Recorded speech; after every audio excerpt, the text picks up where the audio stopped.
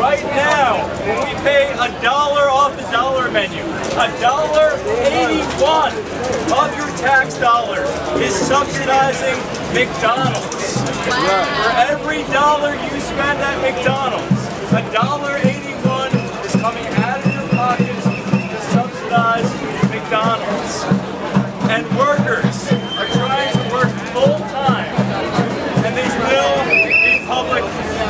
assistance. That's not right. Not, Not right. 40 hours a week, Unconstitutional. Oh, needing public assistance. So I'm here to join with fast food workers all over the country to demand $15 and a union, the right to organize, the right to have a living wage. Thank you.